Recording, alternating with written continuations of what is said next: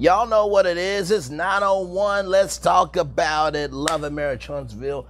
Everything on this channel is alleged, in my opinion, for entertainment purposes only. Once again, everything on this channel is alleged, in my opinion, for entertainment purposes only. Once again, everything on this channel is alleged, in my opinion, and it's for entertainment purposes only. So listen, listen, listen, listen, listen, listen, listen.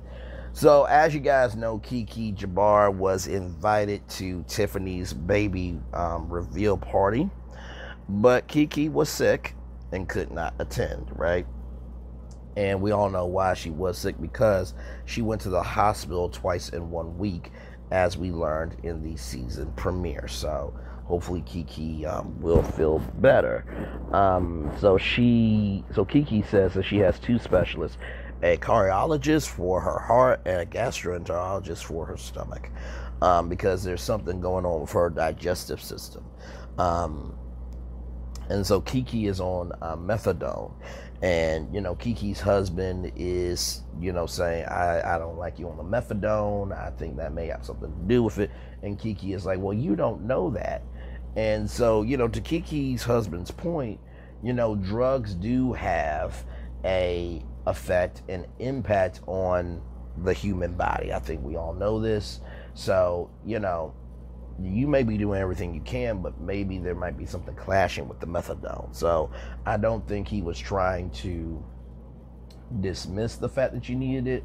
I think because your husband knows your past, I think he was just trying to help you not go back to your past. Um, and so, speaking of Keke's husband, he says you can't eat food like Chinese food, you almost or or the whole restaurant and do it late at night, ten o'clock at night. You can't um, do that, and so listen. I think when you have a partner, right? You know their ups, their downs, their ins, their outs. They're around the way and the, how they are around the way and down the street, right? And so I think what ends up happening is, you know, your history as who you are as a person and your partner's history of who you are as a person with them sometimes conflicts, right? You you when you get married, you are you're two people coming together as one, right?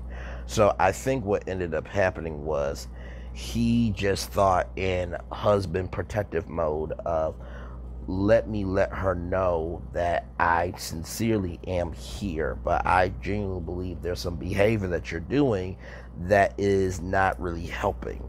And Keke said that there are two different definitions of support.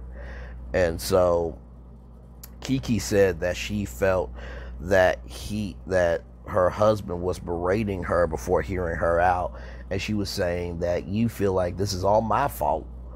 And you know, he said, you know, if I'm jumping to conclusions, I am sorry, but it is human nature.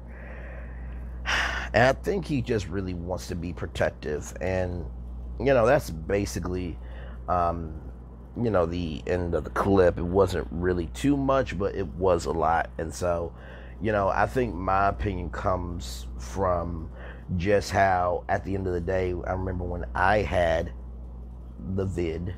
Um, you know, I was out of it for a good minute. Like I want to head back to work, right? Because at the end of the day, if you have an old school work ethic, if you are about being productive and if you are about being on your grind, you definitely don't like anything conflicting with that because at the end of the day, if it conflicts with your grind, it conflicts with your bag. If it conflicts with your bag, it conflicts with your life.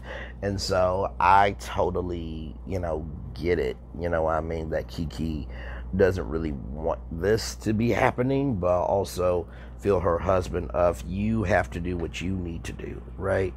And so sometimes our family and friends will protect us um, in a way that may not be conducive even though we may see it as, you know, um, even though we may see it as, you know, doing the most, they're just trying to be supportive. Whereas I say about my family, you know, they're not, my family's not in the ring to fight against me. They're in the ring to help fight with me in the ring, right? So, whatever the opponent is, whether it is, you know, um, my finances, whether it is my mental health, whether it's about relationships, was about people bullying, being petty, and not being responsible um, for what they do, um, or people being upset for no reason at all, forgetting the totality of who that person is as an individual.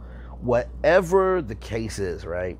Um, my family's in the ring to fight with me, not against me. I think we get lost in the sauce with that a lot of times because it's like you don't understand my fight because you're not me, but also too, people can only understand the fight that you're in based on how much information you give them. So, you know, to all the strong people out there, I think the reason why our strength is weakening or weakened over a period of time is because we don't we don't tell um, that we're weak, right? And I think the strongest people know when they are the weakest, when they do need to reach out for help.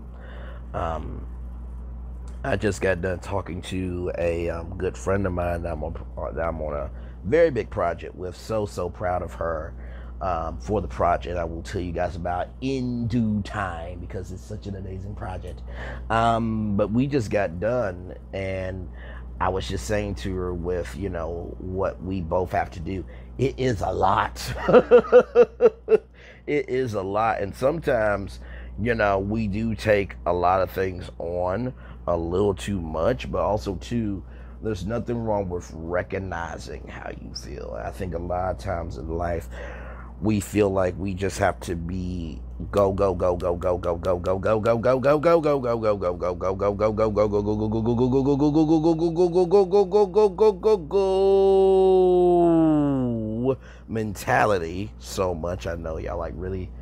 really brain was that necessary. You saw the thumbnail, you know why you're here and you're staying here on your own accord. Okay, so don't get mad at me. But y'all know exactly what I mean. I think that this is based on generations perspectives but also the society we live in you know i think back then you know we had you know the villages and we had individuality but we also wanted to see the best in each other. But now because of technology how fast information can be put out and you know all these different um, people doing so many amazing things we feel like okay we're not on their energy and we are self-reflecting ourselves into who they are a little too much.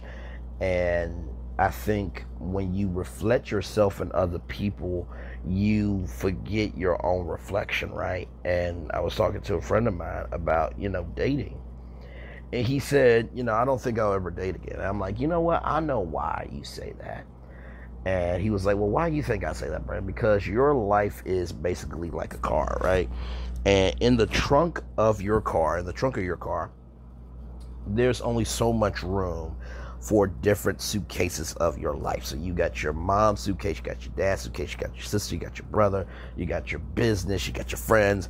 And sometimes when you are rearranging the trunk to go on your mental road trip of life, you have to rearrange that that trunk. So you do not want to go through the energy of rearranging the trunk to put in a suitcase that may not be worthy of you enough to put that suitcase in your trunk, knowing that you're not going to use the suitcase and knowing that you're not going to enjoy the mental road trip of going um, of going to the different destinations in your life with a relationship that may or may not be productive for you.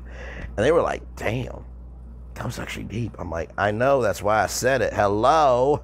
Hell to the low. So I say all that to say this. I think that with Keke Jabbar, because of everything that she's been through, it is very difficult for her to open up the trunk and unpack some things from her trunk because it took so much effort and energy to put all that in the trunk to go on the road that now that she is in a spot to stay still, she feels that maybe her husband's suitcase of care, concern, consideration may feel overwhelmed where she wants to pull that out. But she has to sit there, be still, and stay in it for a minute of, okay, if my husband is saying that I seem off to him, maybe there might be something behind that. And Keke said to her husband that you want me to do something just because you think it's not the right thing to do. And he said yes. And I can understand how that can be, you know, um, dismissive. But I think he wants you to do the right thing because he knows you the best. And I'm just going to be real with you.